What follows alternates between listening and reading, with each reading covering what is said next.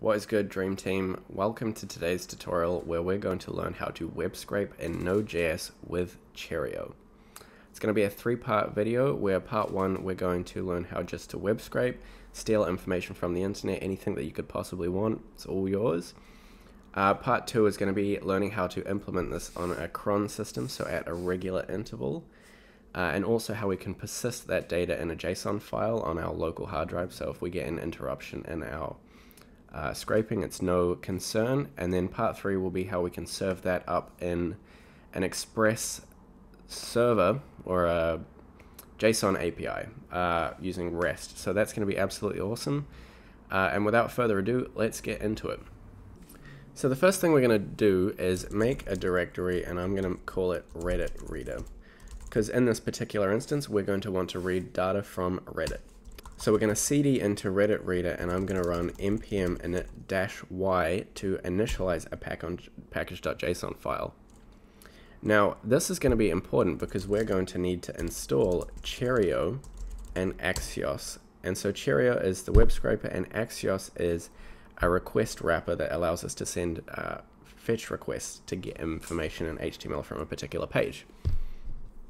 So now that we have those two files, we're just going to touch make a file called server.js. And so now if I open these up in a code editor, we can see that we have our project and in here we have our dependencies, Axios and Cheerio. And so now we can make a start script to run this whole thing. And that's just going to be node server.js. And so to test that that's working, we can just console.log nice and we can now run this in our terminal by saying either node server.js, we get nice, or we can say npm start. Works either way. Either way we get nice. Cool. so step two is to require in the packages that we're going to need for this video. And so the first one is Axios, and so we're just going to use the syntax dot require Axios. And the second one is const Cheerio is equal to require Cheerio. And so now that we have both of these, we can start making some magic happen. So for this particular video, as I mentioned, we're going to be web scraping from Reddit. And so we're going to do learn programming and web dev, uh, and we're going to try scrape these online readers. But just to get an easier hang of things, we're just going to come into a simple web page. So let's just say Mozilla object.entries. Uh, and the reason we're doing this is because Reddit tries to make it a little bit hard for you to scrape data, but it's no qualm for us. We will get around it. And let's just look at this page first. So the first thing you're going to need to run this is just to define an asynchronous function called run. And underneath, we're just going to execute run on script when we execute this script. Now you could also just do a self-calling function. So if I go async function just like this, so I could either console.log uh, self-calling or in here console.log cool. You could do it either way to run your logic, but we can see that executing this executes both of these functions. So either way is totally chill. I'm going to stick with the first one. And so now that we're in this asynchronous function, which we need to make asynchronous calls to request the HTML from the page, we can copy this URL and come back into our file and say const URL is equal to, and just paste that in there. Now, the best practice for this is to execute these calls within a try catch block. And so essentially what this is going to do is catch any errors without breaking all of your code.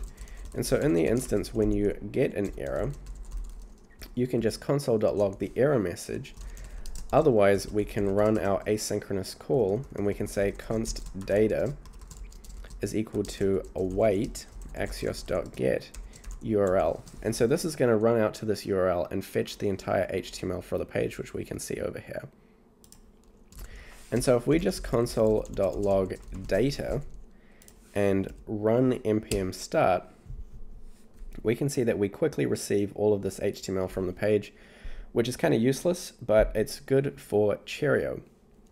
So now to initialize an instance of Cheerio, what you typically do is you say const dollar sign is equal to cheerio.load data. And so Cheerio, an instance of Cheerio is going to read in all of that data and we can do whatever we want with it now. So let's say, for example, we wanted to select this particular, let's make it quite specific. We wanted to select maybe, what could we possibly select? Something small. Uh, let's say we wanted to select this header just here. Does that have anything to it? href, maybe we'll, okay, we'll select this whole h3 tag with the ID of parameters. so if we wanted to select that, we can test out our selection in uh, this window over here by coming into our console and we can use jQuery, which is how uh, Cheerio selects, and just do exactly that.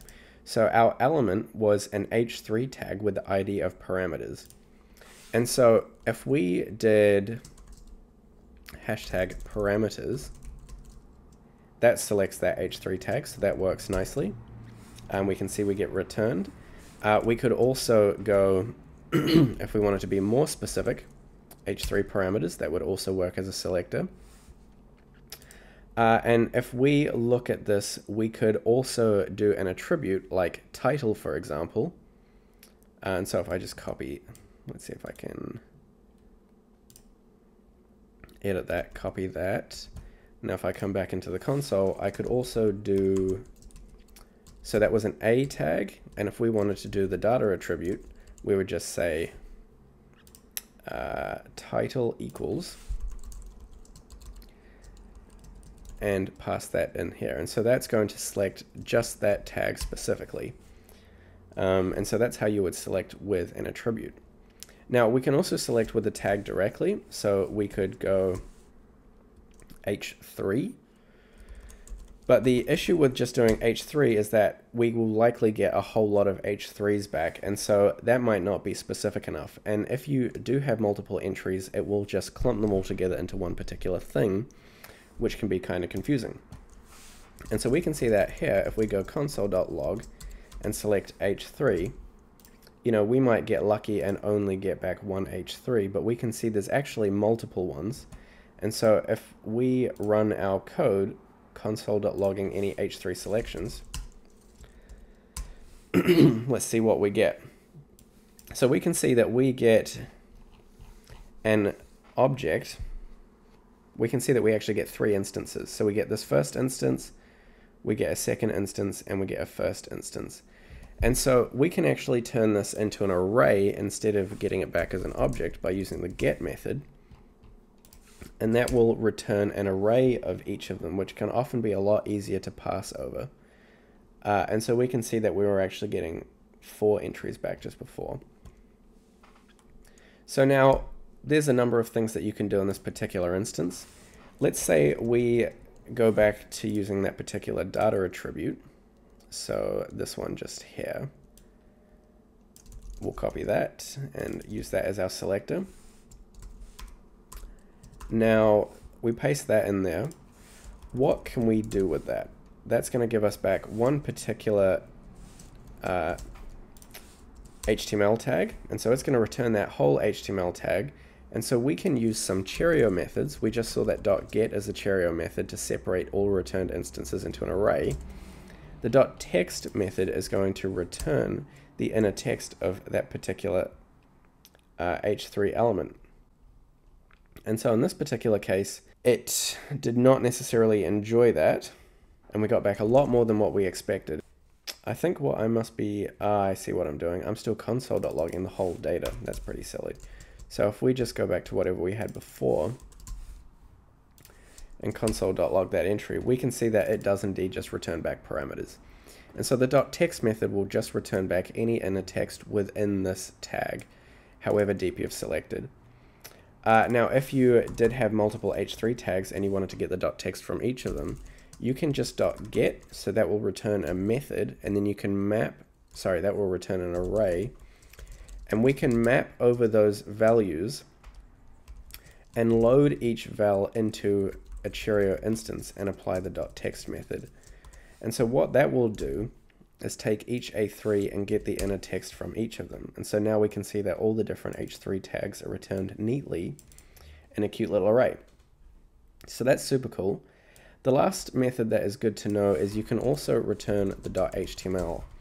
Uh, and this can just be cool if you want to see exactly what you're getting back. And so here we can see that we get back that HTML tag.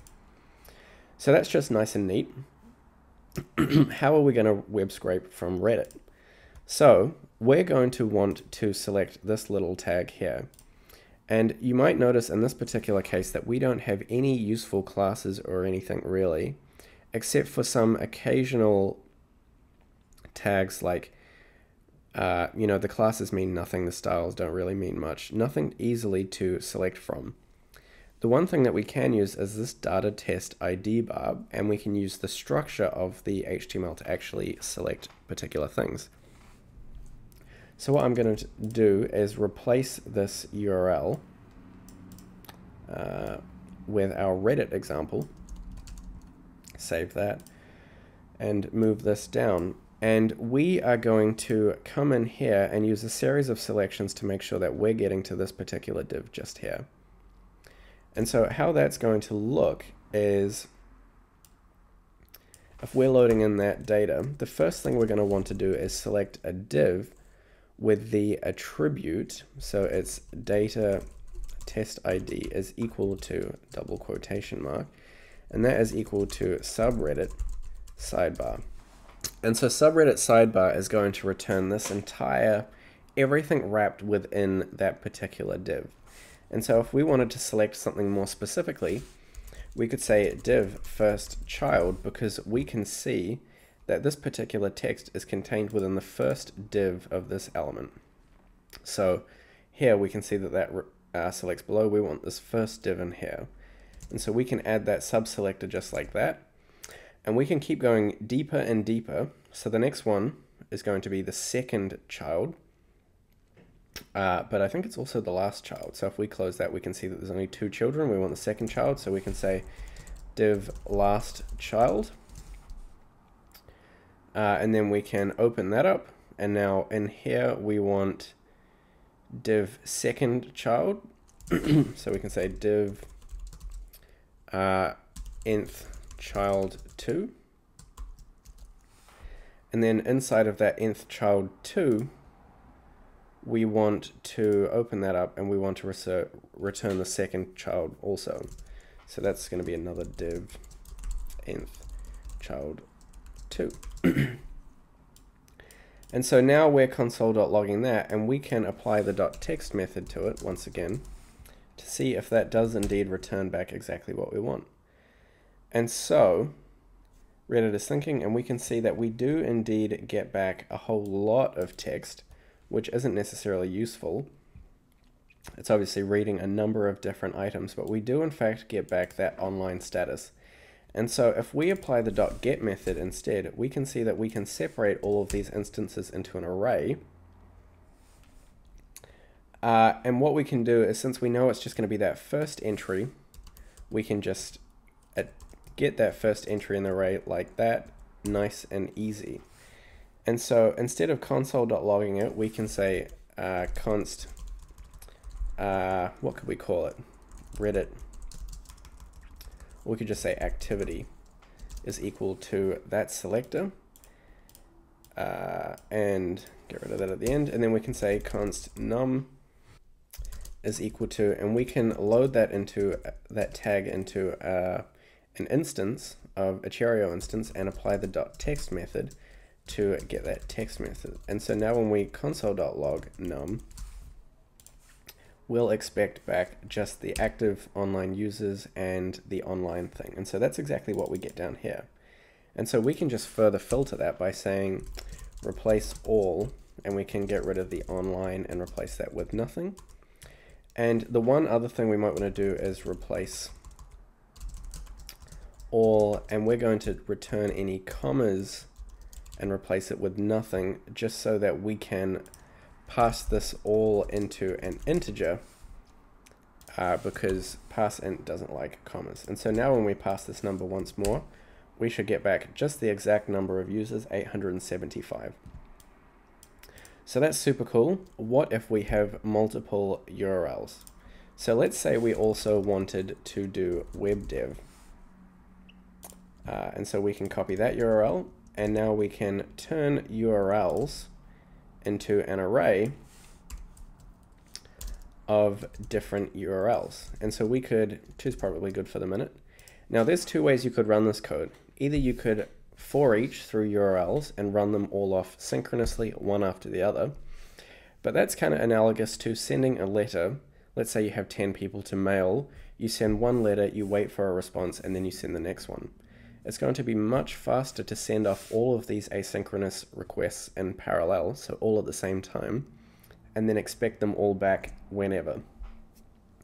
And so to run them all in parallel, what we're now going to do is in here say const data is equal to await promise.all and we pass promise.all an array of all those letters that we want to send out and expect back. And so it's going to await for all of them to come back after sending them all off at the same time, or close to the same time. And so we can create this array from URLs. So if we dot map over URLs, uh, that's going to return an array, and each of these arrays, I mean, each of these returned items in that array is going to be a promise. So we can instead just copy all of this into here, and now it's going to send off all of these requests asynchronously. Uh, the only thing we're going to have to do is make sure that we actually return some information from this so it populates this returned array of all of our letters. And so if everything turns to custard, we're going to return an object that has the key of the URL and the data is going to be null. and otherwise, we're going to return uh, the same thing except we're going to have the number here. And so now if I console.log data, we will see that we can asynchronously send off all of these requests and get them back pretty quickly. Uh, and it's much faster than sending them off one after the other. And so that totally worked. We now have web scraped this information. Uh, and with that, that's pretty much basically how you can do it. We've learned the dot .get method to separate into an array for multiple returned items. We've got the dot .text method to get the inner text, and we've got the dot .html just to render that HTML. Uh, so if you like the video, don't forget to like and subscribe. Check out part two, where we're going to learn how to make this run at multiple, at regular intervals using cron jobs. Uh, and part three, where we're going to serve this up as a JSON API. But thanks for watching. Don't forget to like and subscribe, and catch you guys later. Peace.